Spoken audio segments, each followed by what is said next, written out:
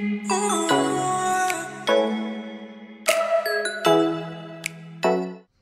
y'all, it's your girl Niee here back with another video. Today is Mystery Monday.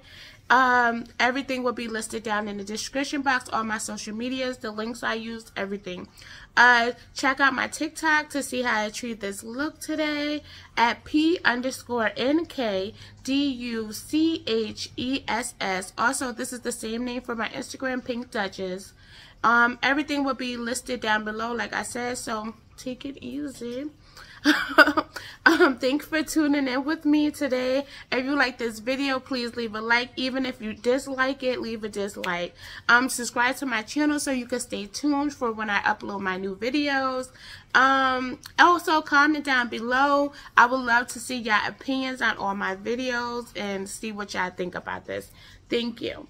So in the 1930s, in Cleveland, Ohio, was an up and coming city, meaning it was on the rise as the city is like growing. They need more laborers and um, help, just help to support our steel and manufacturing base. Despite being in the Great Depression, a lot of Cleveland citizens were starting to get back on their feet. During this time, though, one of America's most prolific and gruesome serial killers was running loose through these parts. Like, can you imagine a serial killer? Like, oh my God. In September of 1934, in Lake Erie, which is very close to Cleveland, Ohio, a woman's body washed up ashore. Well, what seems to be a woman body, but what everybody saw was a woman's torso with her thighs still attached, but amputated at the knee it was believed that she had may been covered in some type of substance that turned her skin red and tough like leather. Some other body parts was found, but never her head. This woman was never identified either, and she is known as the Lady of the Lake to this day. Without any leads or any clues, the case grew cold. About a year later on the east side of Cleveland, in Kingsbury Run, Kingsbury Run. Yeah, Kingsbury Run. Two more bodies were found, somewhat the same way as the other body. Kingsbury Run in the 1930s was considered to be like the hood or urban side of town. Um, a lot of crime happened in this area. This once had a natural watershed that drained stormwater right into the uh, river. Like during the Great Depression in this area, one of four families didn't have an income at all. Many families lived in harsh, some harsh conditions. This area was just filled with a bunch of trash and waste. Many people built homes out of this trash and the mud that was nearby. Like it was seriously dark times. Nearby is Kingsbury Run, and this area is called Roaring Third. This area was like a mini Las Vegas. It had a couple of brothels, a few bars, and some gambling dens. It was close to a train station, so a lot of people were visiting or coming and going.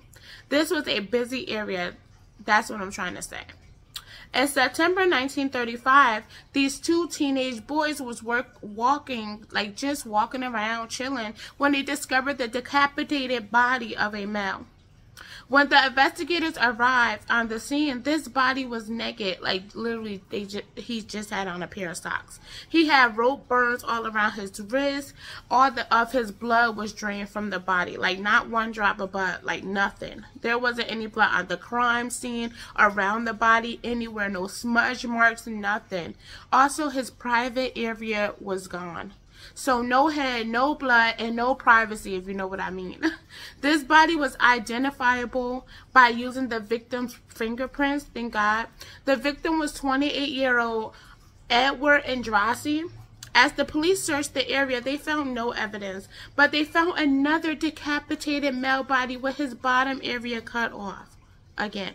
So now the police are thinking, okay, this this has to be the same person. Like this body has some chemical poured on it that resembled the lady of the lake. The victim's skin was also red and rubbery like leather. He wasn't dead as long as the other two victims. Edward was dead about two to three weeks before being found, and this guy was fresh. Unfortunately, he wasn't able to be identified. Now the police are putting two and two together and they are talking amongst their colleagues like this is a serial killer. January 1936, a woman is out shopping, just handling her business, when she finds two baskets sitting on the side of this building she's walking past. She sees something wrapped in it, like what seems to be newspaper. You know what I mean? So when she goes up to it and open it, it is human body parts. She wasn't really sure about what she was looking at, but it seems to be like skin and just parts of the human body. When police arrived, it is confirmed that it is definitely someone's body part. It's a woman wrapped up in these baskets, like her body parts. Investigators are searching this area and around it for days, and it took them 10 days for them to recover most of her body parts. It was like an Easter egg hunt for this woman's body parts. They would find some in like bushes here, bushes over there, like, and just around. But her head was missing and she died from decapitation like the other three victims. This time, the serial killer waited until she hit rigor mortis before dismembering her body. This is different from the other victims. It was said that investigators felt as if the serial killer was trying to experiment with these bodies, like just to see what would happen. So he's doing different shit. Yeah. So they were apparently able to um, identify her as Florence or Flo. Flo was a waitress, a bartender, and a sex worker. She lived on the edge of Roaring Third. There were a lot of people coming in and out of town. Like I said before, they have a train station. So police are like, holy shit, we have to hurry up because the killer could easily flee or he probably already fled. Investigators are questioning people but aren't getting anything. This guy is good. The morning of June 1936, two boys were out playing and just walking around skipping school. Normal teens. Um, I know the people were scared. Like, these people were scarred. Like, all these people finding these bodies and these kids finding these bodies, I know they were scarred for a while. So the two boys found a head wrapped in shorts, like literally. They called the police and the police take the head and the next day they find another body of a man. This man was in his 20s and he was dumped right in front of the police station. Again, drained. No blood, just squeaky clean. But this body was still like, it was still like put together, not dismembered as the other victims. But where is the head again? The victim is decapitated. Another unidentified victim. This victim has six tattoos and the police released it to the public hoping that they would get something from it. But sadly, they, nothing came from it. He is known as the Tattoo Man. What if the killer was bringing his victims into town? Because the train station was like literally right there and he probably had like a little killer slash workstation in town and that's where he would kill and drain his victims. This victim was dead for about two months. This victim was killed on the spot. So maybe he saw something he didn't have any business seeing and the killer is like, you know, I have to, well, not have to, but I have, well, I got to get rid of him. So the other victims were killed in various locations and just scattered around town. By the body, Investigators found bloody clothes, and there was large amounts of blood at the scene. This time it was blood there. His head was wrapped in the bloody clothes that were found. And in September 1936, a man arrives at the train station. You know, he's about to leave town when he trips over a freaking torso. He said he looked back and it was a man's torso. I would definitely, I would have fell. Like, I would have fell. I would have tripped and fell definitely over a torso. But the area was very bad. Like I said before, it was piles of trash everywhere. So I don't know whether, it, you know, it don't seem weird, but it could happen. I didn't know there was a pool nearby, but it was said that this, excuse you, it was said that this pool was like just one big open sewer filled with everything. So investigators are like, I'm not going in there. You're going in there. No. So literally they had to go get a diver. Like they found a diver that was willing to dive in this pool and search. As the diver is searching this pool, he finds the lower half of the torso and parts of both legs. Sadly, this victim, this will be his victim number six. And at this point, everything is all over the news, so the public know that there is a serial killer on the loose. This victim was decapitated also and seems to be in his late 20s. The coroner, coroner coroner, there we go, the coroner is viewing the body and notice there aren't any hesitation marks on the body, which means whoever is doing this is very strong and confident. And he knows, and this person seems to knows a lot about the human anatomy. The victim head was chopped off in one clean just chop. Like, this victim was sadly also unable to be identified. Six killings in one year. Investigators were stumped. There were any leads, suspects, or evidence, nothing. Everyone was scared because of this. Like, remember, the news was reporting on this every day, all day. The media called him the Mad Butcher.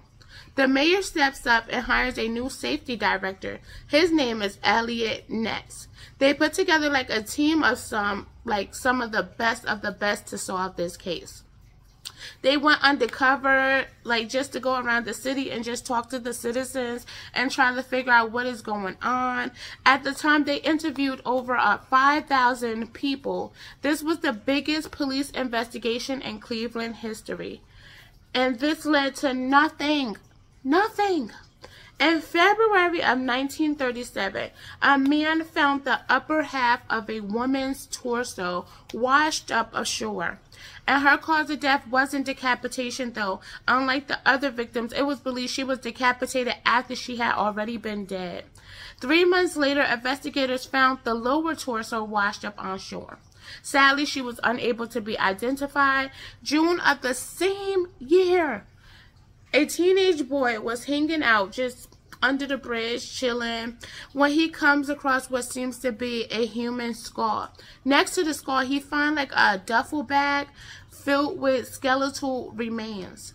Investigators are able to determine that the remains was of a 40-year-old woman and they were able to identify her through her dental records and she was identified as Rose Wallace. The next month, literally, July 1937, a National Guard found the first limb of the eighth victim in a passing tugboat. And when police searched the river, they found the entire body, but never found the head. This victim was gutted from the abdominal and the heart was ripped out. This victim was never identified either. Like, what the hell is going on at this point? Like, what was this person doing with these heads? Like, what's going on? Like, they don't have nothing, no leads, no nothing. So this, that makes me feel like the person probably ain't from this area. Like, literally. Like, this is crazy. Anyway, so things calm down, like for a good year. So investigators are like, did the killer leave town? Is it finally over? No. Because on April 1938, a man was on his way to work when he saw what he thought was a dead fish on the riverbank.